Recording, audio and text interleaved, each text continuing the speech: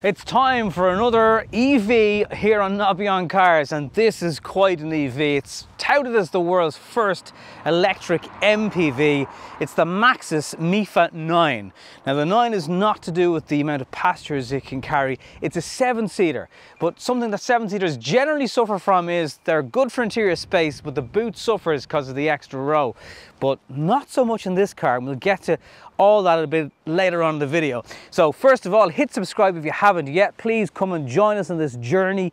Thank you for those of you that are here from the start. We're in beautiful Cong here today in Mayo. So this thing is absolutely huge. It's, it's really, really long, over five meters, but it doesn't necessarily drive like that. This car today is sitting on 19 inch alloy wheels. How does the ride quality get on with that? We'll discuss in the video. The nose of it, uh, certainly the headlights remind me of the latest generation of Range Rover. You've got a tiny little groove here. There's little piano keys just on the front of the grille and then a huge amount of space going on on the front of the car. So some people probably love the face, others may not be so sure.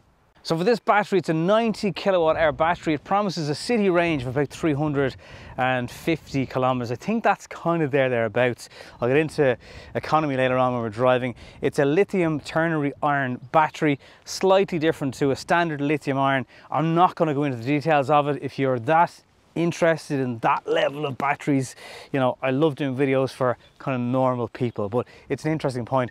Google it if you want to know more.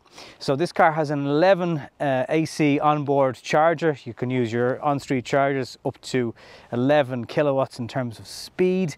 And then the car itself will hover around about 80 kilowatts on a fast charger. It's, you can get technically to about 80% uh, in half an hour, roughly half an hour if you're using one of those faster chargers. But interestingly, charging this car today, even at 85%, when generally the speed kind of throttles down, it was still doing 52 kilowatt charging. So that was pretty good. It got between 85 and 100% really, really quickly. Uh, obviously, I presume that's intentional, but that is a, that's a good point because normally they, now towards 90 plus, it was slowing down to 35 kilowatts, but still very, very decent because a lot of cars slow it right down. So all the cars have discs all around some EVs give you drums in the back, uh, 19 inch alloys as I mentioned. These kind of have little aerodynamic covers over the outside of the rim and they're easier to replace if someone does scratch them. As you can see, it's very, very long. Uh, the entry level car has a manual sliding door, but middle grade upwards. This is a premium. Uh, this will slide back by itself and will reveal absolutely gigantic uh, private jet style seats. They will extend on your leg extenders. You have little glass controllers over the side. They have, uh, like if you're ever in kind of the front row in an Airbus or a Boeing or certain seats, uh, emergency exit rows, you'll, you'll be familiar with the little table that comes out and goes across your lap. Same thing in here. These will recline for when you're charging really, really handy. If I'm critical, there's kind of a lack of charging ports in the back here for devices, but there is a three pin plug that you can use. And there's also a little footrest where you can extend your feet onto when you're kind of having a bit of a breather. Also, there's kind of grab handles, commode handles are called. Um, depending on which model you go for, they'll be bigger and smaller. But uh, if you can, go to that mid-spec one and you'll get that door that will uh, automatically close like this. Now, if you're using this car as a public service vehicle, uh, you mightn't want to go for that because you're explaining to people all the time, no, no, don't slam it, it'll do it itself. So that can be annoying, but it does have auto door uh, on the side. Uh, it's very, very tall. I'm nowhere near six foot, and as you can see, the car is towering over me, so it's big. The charging port is on the other side of the car, and actually I didn't want to try it, but I wonder if you try and open that door when it's charging, I presume it won't slide back and catch the charger. Uh, so on this side, and the rear of the car, you have these huge kind of Darth Vader style uh, light strip that pops up, bit of a boot spoiler. And again, from middle model up, you get an electric tailgate, big Mifa 9 badge on the side. Because people are, it's going to be one of those cars people are going to say to you, what is that? That's a big door. So again, if you're dealing with a manual one of them all the time, that might be a little bit tricky. And now we come to kind of the party piece of the Mifa because you can adjust this bench. So let's say you were a taxi driver, and I only just aim this video at taxi drivers, but yeah, you've got a large family. You can adjust this. So if you're not using the back row, um, you can't fully take the seats out, but you can fold them down so you have a bit more of a boot here. And even when this is fully up, it's still an all right space. So they're on sliders, give you more leg room if you need it. You can pull these up and actually they go really far back if you want. Uh, they click into place there. Uh, and you know, even with the uh, extra row of seats up, it's not a bad boot. Like there's, you know, you get a couple of bags in here. Let me, let me demonstrate for you. So this is my magnificent travel bag. And you know, that will easily tuck in there. It's like a big, big rucksack. So you get a few of them. Um, the lads in uh, has told me that with this row down, or was it, yeah, it was this row kind of tilted forward. You got four sets of golf clubs into the vehicle. So kind of gives you a decent idea of context. Um, if you do want to lift anything out, there's a bit of a bit of a lip here, nothing major, but um, a lot of different adjustable aspects to this. There's a lovely kind of velour finish on the uh, headlining in the car, and that gives it a, a premium feel. And your belts and everything go, you know, well tucked away in here. So there's also Isofix in the two rear seats in the third row. That's a big selling point for people. Now, to me, this is where the Mifa is the daddy. So here you have a little screen, you swipe over it. It shouldn't unlock even if you touch it, but if you don't want to risk it, you can slide this a little bit forward. So let's say you want to extend your legs, right? Seat just moves a little bit inside. Pushes you back. Oh, yeah. Imagine charging while you're waiting for this thing to charge. And this is going on.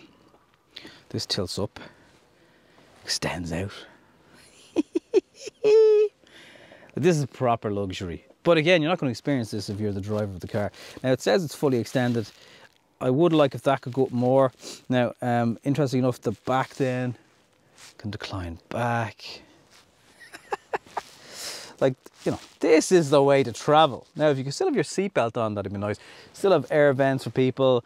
There's a kind of a, a, little strip that goes on and brightens things up. And then you have your glass roof. It's not standard on the, the entry level car, but it is um, from middle upwards. So you've got vented and heated seats on these and it can massage you and it's it's very good. Like it could work a little bit quicker, you know, but if you're back here enjoying life, what, what's the rush? You've got a little cup holder that pops out here as well. Yeah, the damping on that could be a little bit nicer, but like, come on, come on, seriously. Uh, very, very comfortable. Isofix in these seats as well. So let's say you want to work while you're charging, you flip this up, press a button, a little table pops out, you can slide this, you can actually adjust this depending on who's sitting on it and you could work away on your laptop on this, you could be charging it from your three pin plug that is down here. So really the name of this vehicle is Practicality. It should be called the Mifa Practical because it's it's good and there's loads of leg room in here and it's um it's a comfortable place to be lads. If you do need your Mifa 9 to tow, uh, it can tow 1000 kilos on the back of the vehicle. So I don't know how long that's going to be with a trailer and the length of this. You probably want your wits about you. Let's check out the front. I'm going to start with what is not amazing inside the car for the price. It's not that there's anything really wrong with the interior and to be honest with you, it's no less than probably Kia. Kia is maybe a little bit higher in terms of uh, build quality and, maybe high and maybe Hyundai, but there are points at it that just feels a little bit plastic for the price of it. Uh, another negative is the wireless charger is way too slow. Even the plugged in charger is quite slow. It's only two USB uh, A ports, there's no USB C. Like the drinks holders, they're good. Good space down underneath your armrest. Um, this car will not drive if you don't have your seatbelt on. So it's like when you've left the handbrake on and the car's kangaroo hopping the car will not drive unless you have the belt on. So that gives you a sense of how intuitive the safety aids are. There's a monitor the driver condition option here. You can turn it off, which I did, but as soon as you get in and out of the vehicle again, it will always come back on. Uh, the climate is a little bit fiddly. You've got to swipe up for the heated seats. If you, if you buy one of these cars and you can't find the heated seats, swipe up from the bottom. All around the car is pretty decent. The door bins are ginormous and very, very decent. Uh, some of the clever stuff though here, like if you're ever in a car park, it's such a big tailgate. Have you ever heard that sound where you open your boot lid in uh, an underground shopping centre car park and you hit a pipe, or you nearly hit a pipe? You can adjust with your finger on the screen the angle that the boot lid opens to. And even if you do open it because you weren't sure and you realize, no, there's a bit more space there, you can extend it again and you can just, you can fine tune the boot. That's brilliant. Uh, here you've got a camera assist style rear view uh, mirror. There doesn't seem to be a flip down to turn into a normal glass mirror, so that's kind of a bit strange. Uh, you've got your driver set of uh, sunroof, and then back there you've got glass roof as well, uh, and they do open. So um, you know that's that's nice bit of fresh air.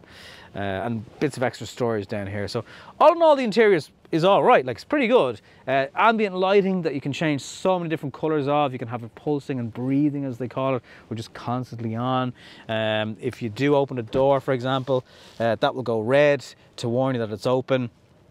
You've got blind spot tons of height and everything like that. So you know it's it there's loads of gadgets. If you love gadgets, you'll love this. But if you're kind of overwhelmed by loads of different settings and screens for this and screens for that, then you probably will need to sit down with the car for about three hours and go on YouTube and search for videos and stuff like that. So um, look, let's take it out on the road and see what it's like to be behind the wheel of in the MIFA 9 because it is a seriously big bus. Before we even get driving, I like this. So this kind of is a bird's eye 360 overview of the car when you come to a junction or lights. Gives you an idea how to maneuver it. Anyway, welcome to the inside of the MIFA 9, which is uh, sold as the world's first electric MPV, multi-person vehicle.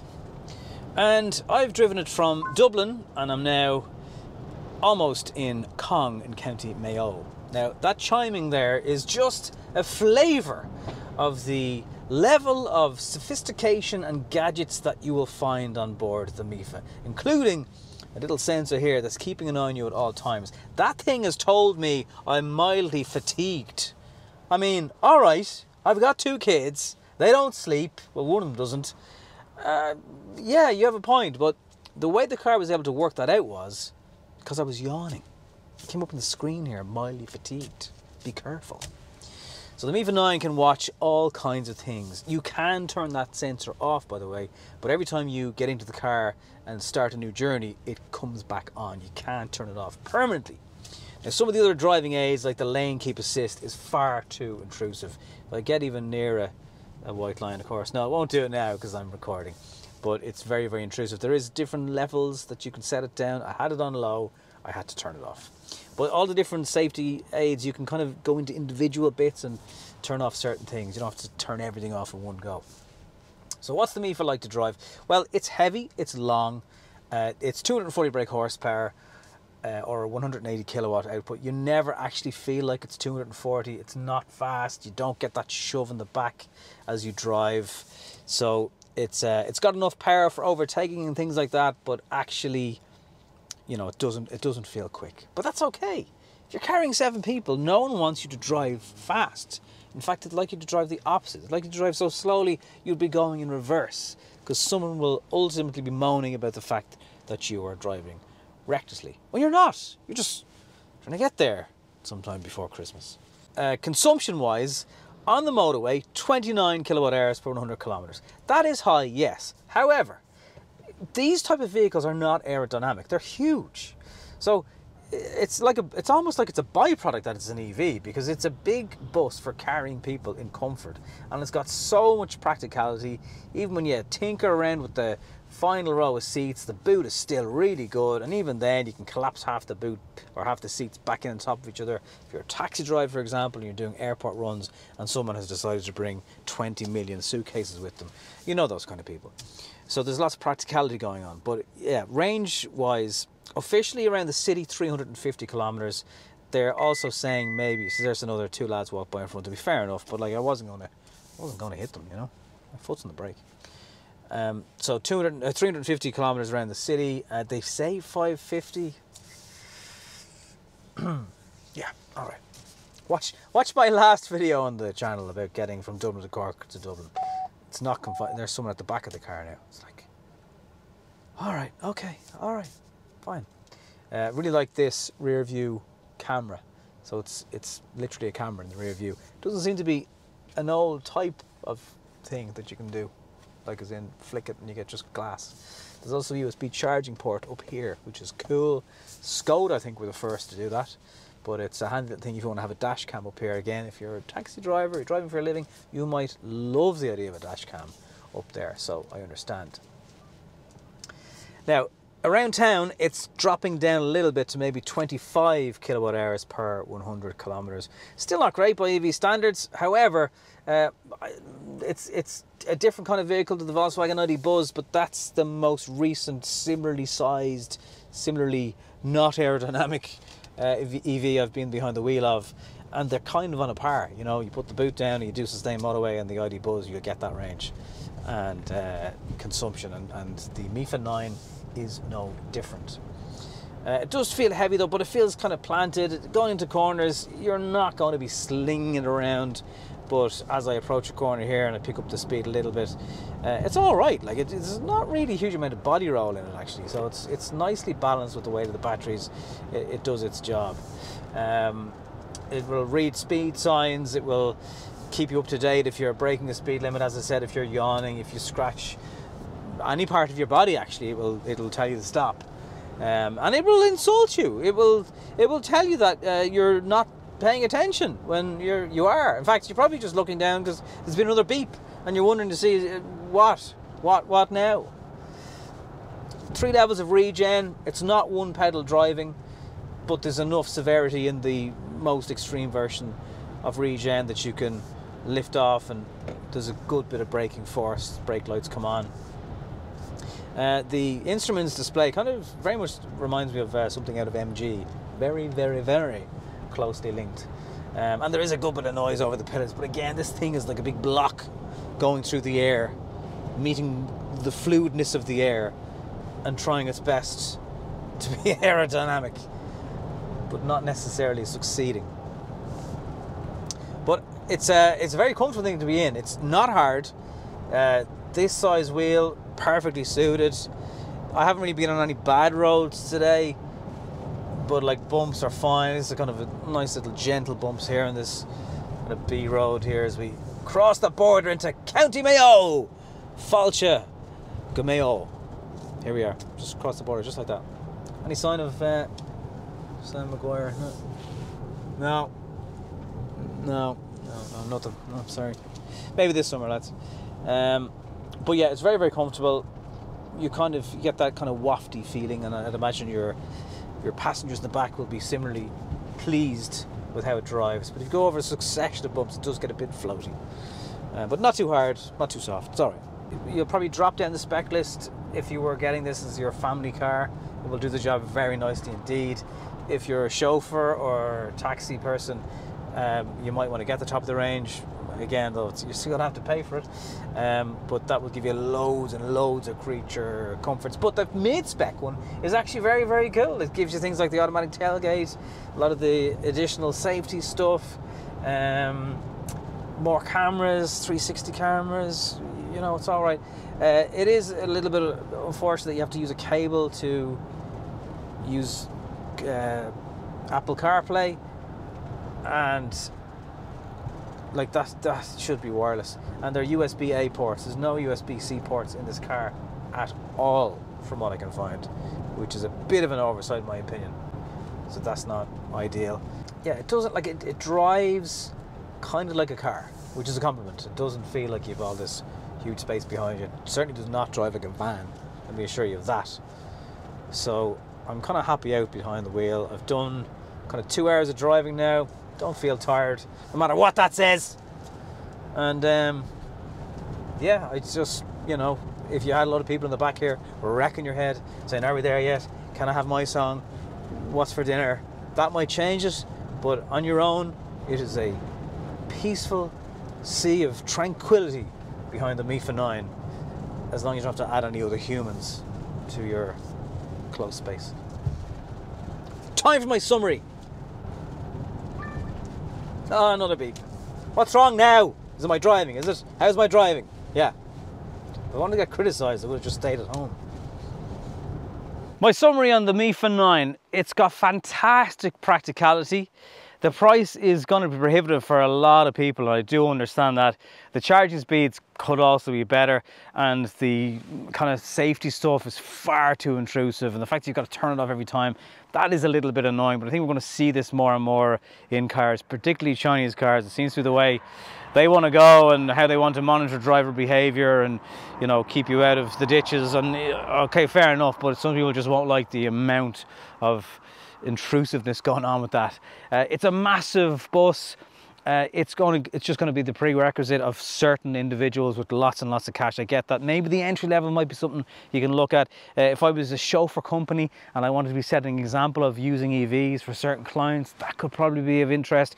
It's certainly interesting from the point of view of here's the size of vehicle we can now create that can carry loads of people, all their bits, and be an EV. So from that sense uh, point of view, it's, it's very, very interesting. Uh, not perfect, but an unusual vehicle and great to have this size of vehicle in an EV should your wallet allow you to go to that option. Thank you very much for watching this review of the all new Maxus MIFA 9 and I'll talk to you in the next one.